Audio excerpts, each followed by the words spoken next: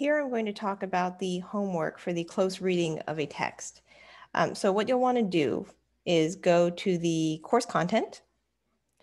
And for this week's homework, you're scrolling down to the module three.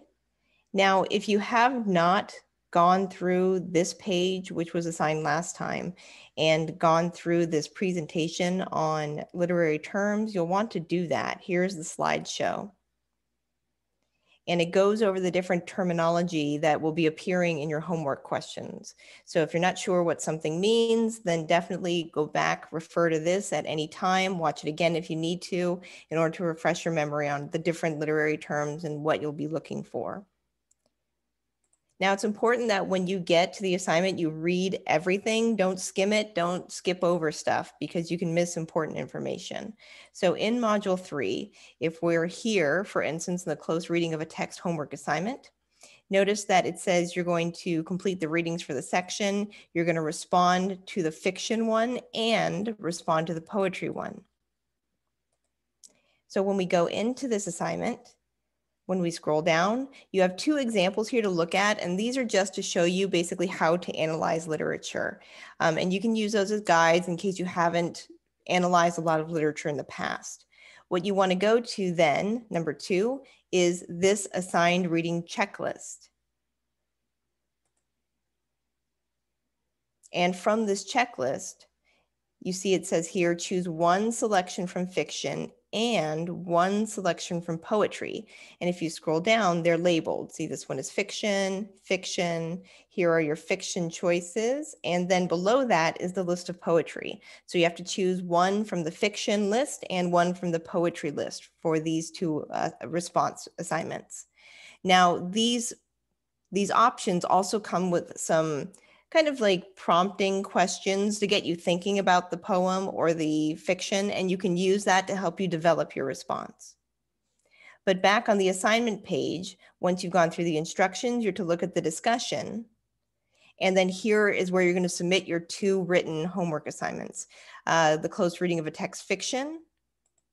So for whichever of the fiction pieces you chose and you read, after reading it and kind of thinking about these prompting questions, you'll jump in here. Again, here's a link to the list one more time in case you need it.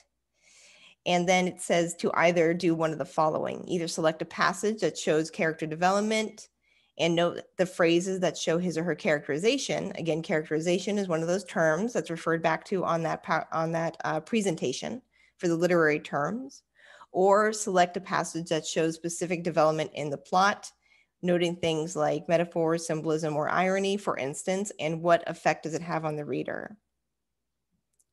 Now, um, you are also to use references from the text in order to demonstrate uh, your examples. So just like last time when you were talking about the theme, if you said the theme is this particular theme, you also need evidence from the text in order to do that. So this is just some guidelines when it comes to documenting your text. So you're going to submit your response for the fiction reading, whichever one on the reading list here that you chose. And then you're going to go back and you're going to do the same thing for the poetry one. So you have one for fiction. Oops, I got to go back inside. One for fiction and one for poetry. And again, the poem has to come off the list for that assignment in the close reading assignment okay? When you jump in here to the poetry one, here's where you'll submit your response to the poem that you chose. Um, again, answering this question, in this case, the poem one is about theme, which is kind of review from last time, but um, you'll also think about the theme for this one and then talk about the literary elements that show the theme. Again, what are literary elements? It's all in the presentation. So if you skipped over or skimmed over that presentation last time, then you wanna go back and review it. Uh, just like I've said before, if you have any questions or you're struggling to understand the story or the poem or even how to apply those literary terms, then you can certainly email me with some questions. We can engage in a discussion or the office hours are also great for that. Okay, so please reach out to me if you need any help.